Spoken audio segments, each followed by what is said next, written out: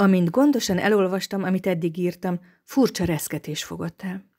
A sorok közül idegen ember tekintett rám, fehér ellenző sapkával, komoly arcú, fürkésző szemű. Ellenszenves nekem, mert talán jobb és boldogabb volt, mint a jelenlegi énem. Milyen kelletlen irítség és szórakozottan sajnálkozó fölény érzet vezette tollamat, amint azt az oly sok szempontból, úgymond, szánnivaló embert megrajzoltam. Végül is a nosztalgia szülte el sorokat, a vágyódás egykori önmagam után, aki mindig izgatottan felajzva lépett ki az utca forgatagába, és mindent befogadott, amit szépnek ítélt. Ám őt már rég eltemették a hatalmas könyvrakások, ő már rég eltűnt. Eltűnt azon a napon, amelyen barátságosabb kezdtem lenni magamhoz, mint másokhoz, és ezt már nem is resteltem többé. Csak ugyan irigy vagyok rá. Most, hogy elolvastam, amit írtam, az írókat is jobban tisztelem. Tisztelem őket hiába való erőfeszítéseik miatt, és egyúttal csodálom képességüket, hiszen általában elégedettek munkájuk eredményeivel. Jó magam, ábrázolni igyekezvén azt az időt, úgy érzem, mintha feneketlen vödörbe mernék vizet. Én még csak tudok a sorok között olvasni, de a kívülálló alig ha alkothat képet a valóságról, amely, miközben írok, a szavakat megkerülve szeszélyesen csapong emlékezetem zegzugain. Tekintélyes ember önbizalmára súlyos csapás, ha el kell ismernie gyöngeségét, midőn oly egyszerű dolgot igyekszik bemutatni, mint az élet. Megint abba hagyom. Ismét felállok könyveim mellől, kilépek a lámpa fényköréből, és csak csodálkozom, milyen ellentétes érzések fornak lelkemben. Félek, hiszen fájdalommal jár, ha hirtelen kitépik a szervezetbe beágyazódott golyót.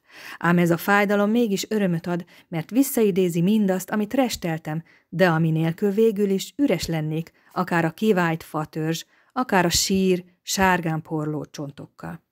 Igen, ez a fájdalom jól esik, hiszen egykor nekem is volt rövid tavaszom, jól lehet, hűvös volt, és túl későn érkezett. Könnyelmű káprázatát sem a külsőleges siker, sem a szakterületemen megszerzett tekinté, sem az anyagi biztonság, sem pedig a megingathatatlan szokássá rögződött életvitel nem tudta elhomályosítani. Pedig lelki békém legfelhőtlenebb pillanataiban hányszor próbálkozom vele. Riadtan tekintek vissza a múltba, akárha valami veszélyes szakadékba pillantanék, és ijesztő gondolatok járnak a fejemben. Hogy lehetett? Mint lehetett volna? Olykor meg jóleső elégedettség tölt el, amiért akaraterőm segítségével túltettem magam mindenen. Ilyen következetlen hát a bölcsnek hitt emberi gondolat is, ha a józanész biztonságos útjairól néhány röpke percre letéved az érzelmek zavaros és tisztátalan ingoványába. Ma is világosan emlékszem arra az éjszakára. Meleget sugárzó tájakon robogott a vonat a nyárutó csillagpermetében. Mellettem és a szemközti ülésen francia polgárcsalád utazott. Alaposan felszerelkeztek párnákkal és elemózsiás kosarakkal, s nem resteltek félig levetközni a kupé fullasztó hőségében. Szinte magam előtt látom a csipkefodrokkal és brostűkkel cicomázott nagymamát, aki, csontos ujjai közt markolászva az ennivalót, egész úton mohón evett, akkor is, mikor a többiek aludtak, Evet, amikor a fejemet az esőkabátnak támasztva, szememet behunyva fáradt álomba merültem, a vonatkerekek zsongító zakatolásától. Evet, amikor a mozdony kehes sípolására kinyitottam a szemem, és akkor is evett, amikor a hajnali fehér pára ráborult a francia táj lankáira, dombjaira, és a vonat vad iramlásba kezdett magas töltésén, mintha a nap felkelte elől egyenesen az Atlanti óceánba menekülne. Beesett arcgödrei időről időre megfeszültek, színtelen ajkával folyvás cuppogott, csámcsogott, loboncos fakó őszhaja fésületlen hult a homlokára. Evett, egyre csak evett. A hasa a fekete ruha alatt olyan volt, akár valami órmótlan, felfúvódott gömb. A vörösból, melyet apró, óvatos kortyokban nyelt, a virradattal egy időben halvány pírral vonta be az arcát. De ennél a képnél is jobban rögződött bennem az a drasztikus fokhagyma bűz, melyet a veresképű óraláncos családfő árasztott bajsza alól, légzése ütemében erős hortyogás közepette, egyenesen az arcomba. Úgy örültem az utazásnak, hogy efféle kényelmetlenség, efféle apróság nem ronthatta el a kedvemet. Ellenkezőleg, ismeretlen útitársaim egyfajta lelki élvezetet szereztek, miközben alvó ábrázatokat néztem, amelyről a test elégedettséges sugárzott a létezés maradandóságának és értékének legcsekélyebb kétségbevonása nélkül.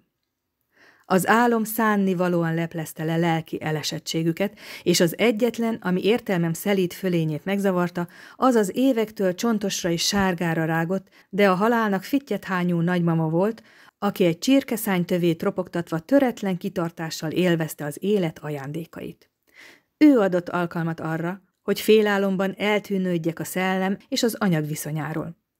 Aztán hajnaltájt, mikor ismét nyugtalan álom kerített hatalmába, lidérces látomásaimban egybeolvadt egy iszonytató méretű élethabzsolóval, aki eltévejedett lelkeket ropogtatott az alvilág sápat homályában. Még a vonatról leszállva is a félelem és a tisztelet vegyes érzésével eltelve gondoltam rá. Előtte azonban még egy kép sorjázott emlékeim közé. Friss bájára emlékezve ma is elmosolyodom. Kora reggel volt, és a legtöbben aludtak még, amikor a vonat megállt egy állomáson, mely a reggeli sürgésforgásra készülődött. Nevére, ha agyonütnek, akkor sem emlékszem, de az állomás épület cserépteteje szép, vöröses-barna volt, homlokzatát pedig kúszónövények szegélyezték, s a levelek zöldje közt már felsejlettek az ősz színei. Nyitott emeleti ablakán a párkányra könyökölve álmos barna szemű francia kislány nézett kifelé. Huncut kerek arca volt, barna bőrét a lehelet filom pihe elragadóan bársonyossá tette. Egészen fiatal volt, és csak imént ébredt fel a korai reggelre. Barna szeméből kíváncsiság, öntudatlan kacérság és kimondatlan életöröm sugárzott. Önkéntelenül is arra gondoltam, hogy egyenesen rám néz. Amikor pedig a vonat elindult, és napbarnított karját felém lengette, megremegtem az örömtől. Az ifjúság üdvözölt azon a francia reggelen, engem, akinek soha nem adatott meg az ifjúság élménye. Az első meglepetéstől felocsúdva vad kalandvágy fogott el. Ettől nevetnem kellett minden régi intelmen, sőt, mi több, ezt tette értelmetlen papírhalmazzá fáradhatatlan szorgalommal teleért jegyzetfüzeteimet, melyek a szállodatulajdonos hölgy porlepte fali szekrényében egy furnér dobozban várták, hogy visszatérjek. Mint a legtöbb szellemi munkával foglalkozó emberben, akik tennivalóikra koncentrálnak, és még evés közben is a fejükben zsongó problémák megoldásán töprengnek, az anyagi lét kínálta apró örömök bennem is alig tudatosultak. Ha szórakozottan rágtam egy félig átsütött karajt, vagy a nyári melegben gyanakvóan szagolgattam a villa hegyére tűzött húsgombócot, amely az étlapon sertés kroket néven büszkélkedett, sosem zavart a gondolat, hogy másképpen is lehetne. Sosem ingerelt irítség a tehetőség ellen, akik tizenkét frankot is kifizettek egy ebédért, amelyhez bor is jár. Amikor leszálltam a vonatról, s a napsugarak bearanyozták a völgyekben, hasadékokban lebegő reggeli párát, ugyancsak meglepetéssel tapasztaltam, milyen kimondhatatlanul jól esik a gőzölgő teljes kávé, és hozzá a kis szelet likacsos kenyér. Azon az állomáson kellett átszállnom. A darabka hideg vaj legelőkről, napsütötte rétekről mesélt, és arra gondoltam, hogy a nagyvárosi előkelően fehér és sótlan vaj ehhez képest mesterséges, élettelen anyag. A nyugtalan éjszaka után a kényelmetlen faülésen elzsibbadt tagjaim új erőre kaptak, helyesebben olyan erő költözött belém, amit a városban sosem éreztem. A falusi kenyér és vaj, mintha sohasem sejtett életenergiával töltötte volna fel testemet. Jókedvem lelohadt, amikor felszálltam a félig üres helyi kisvonatra, amelynek Kárnákban is meg kellett állnia. Az aprócska kocsiban csak néhány mogorva, fakószoknyás parasztasszony gubbasztott. Olyan nyelvet beszéltek, amelyből legnagyobb megrökönyödésemre egy szót sem értettem. Szájuk időről időre szorosra zárult, csappanva, mint valami pénztárfiók, a szemükben ugyanaz a hideg szín, ami a zakatoló vonatot kísérő repedezett sziklafalakon. Zöldséges kosarakkal utaztak, a kosarakat aggodalmasan rejtegették csíkos szoknyáik mögött. Egyikük a lábuknál egy csomóba kötött tyúkokat akasztott, a feje mellé a ruhafogasra. A poros ablakon át kíváncsi várakozással nézegettem a vidéket. A nap fényesen sütött, az ég hatalmas kék kupolaként borult a tájra. Ám ez a táj fehér-zöld dombjaival, sziklás hegyoldalaival, melyek között valószínűtlenül vékonyka szántóföldek bújtak meg, a fény a napsugár ellenére különös bánatot árasztott. A fehérre meszelt házak kicsik voltak, és az előttük megálló, parasztkalapos, földszín ruhás emberek mozdulatlanul bámulták a vonatot, és akkor is ugyanolyan mozdulatlanul álltak a helyükön, amikor a vonat már rég otthagyta őket. Ezeket a moccanás nélküli alakokat nézve furcsa érzést töltött el, és csak később vettem észre, hogy hiszen az efféle szegény parasztházak környékén mindig és mindenütt csak öregeket meg gyerekeket látni. Hát innen az az erőtlen bánatuk, az a mozdulatlan várakozásuk. Reket kotkodácsolás, erőtlen szánt csapkodás riasztott fel a nézelődésből.